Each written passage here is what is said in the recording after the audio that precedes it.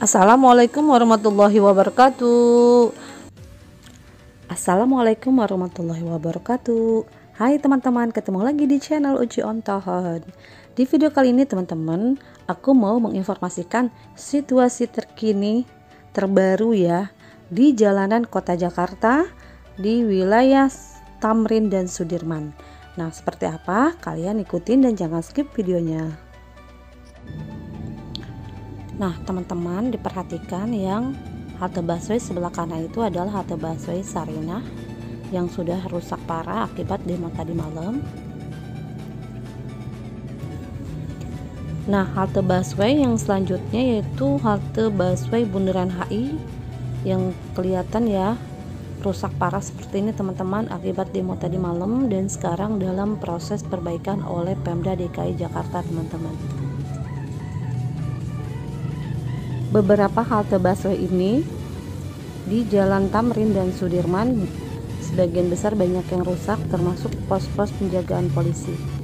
Tapi untuk malam ini tanggal 9 Oktober sekitar jam 20.30 kondisi cukup aman. Sudah tidak ada pendemo atau keributan apa pun lagi Nah ini di jalanan sekitar bundaran HI cukup aman. Jalanan tidak ada kemacetan apa pun ya. Hanya bekas-bekasnya aja masih terlihat ya puing-puing dari kerusakan akibat demo tadi malam tanggal 8 Oktober 2020 nah di samping kanan juga ini halte busway Tosari teman-teman terjadi kerusakan juga di depannya tapi tidak separah di halte busway yang daerah Bundaran HI nah seperti ini lagi dalam proses perbaikan teman-teman oleh Pemda DKI Jakarta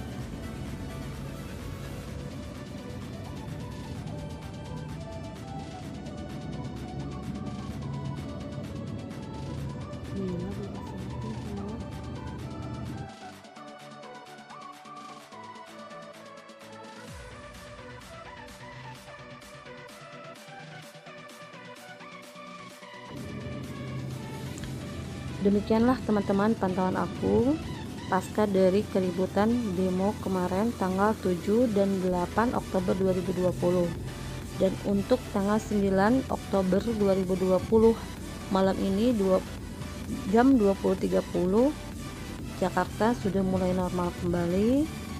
Jalanan udah aman terkendali tidak ada kemacetan atau keributan apa pun. Terima kasih teman-teman yang sudah nonton di channel aku sampai selesai Wassalamualaikum warahmatullahi wabarakatuh.